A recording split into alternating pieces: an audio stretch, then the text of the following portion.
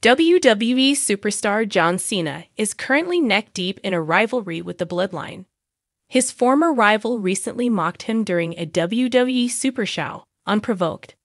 Austin Theory built a rivalry with John Cena heading into WrestleMania 39, with the United States Championship on the line. The 26 year old was able to prove himself by defeating the Cenation leader in the clash. Theory later lost his United States Championship to Rey Mysterio on the August 11, 2023 episode of SmackDown. However, he hasn't lost any steam ever since and had an iconic face off with The Rock on SmackDown in recent weeks. The former United States champion faced off against LA Knight at a WWE Super Show at the Chase Center in San Francisco, California.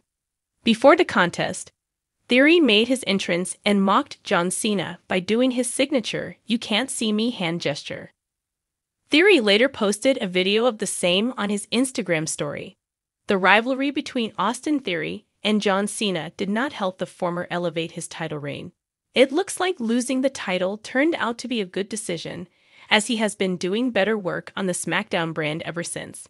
John Cena is currently facing off against the Bloodline, while Austin Theory is rebuilding himself in a tag team in WWE. The Bloodline's Solo Sikoa and Jimmy Uso took out AJ Styles on SmackDown a couple of weeks ago.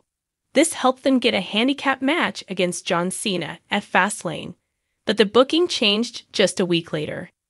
Cena was able to find an unlikely partner in the form of LA Knight, the former million dollar champion helped Cena fend off the Bloodline members before signing the contract for the match on Friday night. Meanwhile, Austin Theory has teamed up with Grayson Waller in recent months.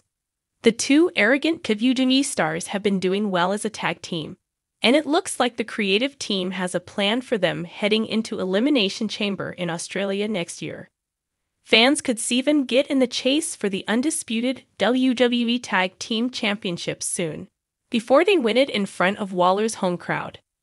It would be a good way to kick off Grayson Waller's first championship run. Do you want to see Austin Theory and the Cenation leader go toe to toe again? Sound off in the comments section below.